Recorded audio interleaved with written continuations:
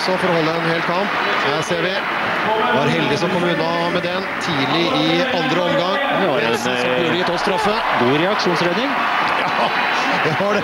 Problemet var at det ikke var fra Erin Brown, som har hatt flere, men fra Tor Hogne Aarøy, og da teller vi ikke redning, men en straffe. Abdullaye Mbaye startet mot eh, Rosenborg på Lerkendal. Da kom eh, Hogne Aarøy inn. Nå går Hogne Aarøy ut, og Mbaye kommer der. Og så er det Austnes som går ut. Var frisk i starten av kampen, og har falt av han også. Ålesund. Corner ved Stian Johnsen.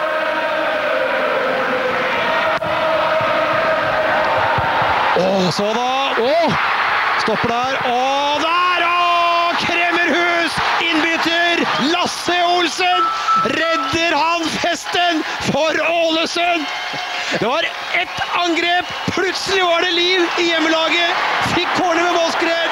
Og så, etter flere allveisforsøk, Lasse Olsen!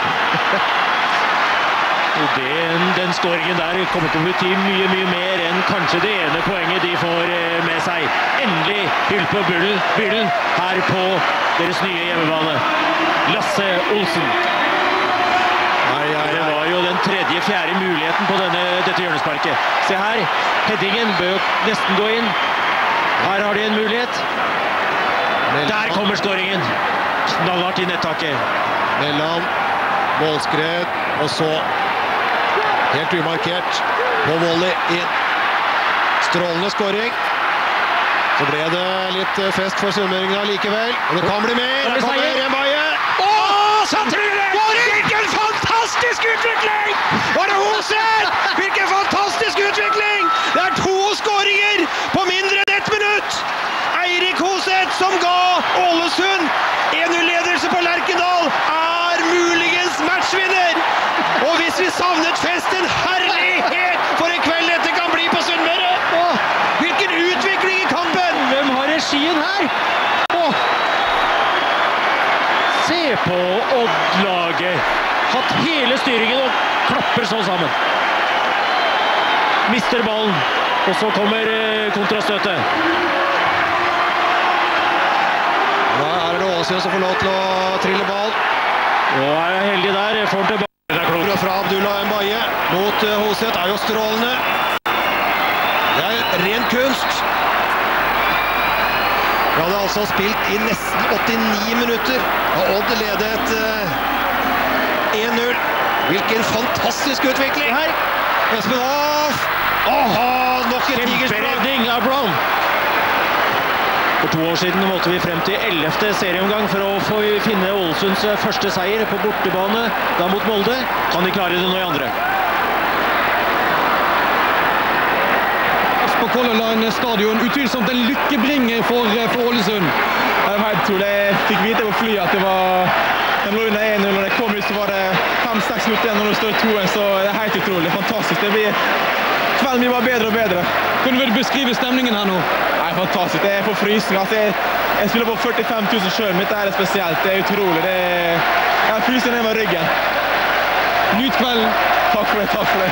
Ja, nå er det frysninger for eh, Jon Arne Riise og resten, men vi slo OL-floka for bare tre minutter siden. Da var det stille som i graven. Men det er klart, eh, to skåringer, du verden. Og fotball er et herlig spill, eh, Bredli. Ja visst. Kan utfordre én mot én nå. Velger å bruke ti. Ja, for frispark. Eh, Klokka går. Ikke taktisk lurt av eh, Ornelas. Det var jo akkurat det Abdullahi Mbaye ønsket. Og i øyeblikket leder Ålesund eh, Tippeligaen. Og i øyeblikket leder Ålesund Tippeligaen. Første gang. Nyhetene kommer så snart vi er ferdig med denne kampen.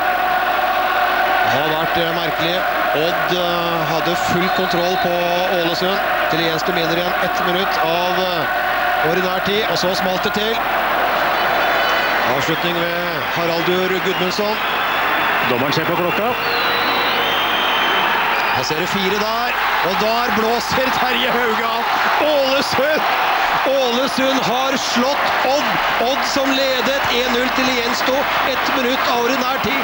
Og så to skåringer Først av Lasse Olsen, så av Eirik Hoseth på mindre enn ett minutt. Og så kan eh, den virkelige festen starte for Jon Arne Riise og resten av eh, sunnmøringene. Ja, det, det, dette var som å vinne i Lotto for eh, Ålesund. Og tenk deg da Odd, som hadde hele styringa, hele føringen, og mister poengene. Nederlagsdømt, poeng på Lerkendal, seier i åpningskampen på nye Color Line stadion. Slå den! Ivar Morten Omar.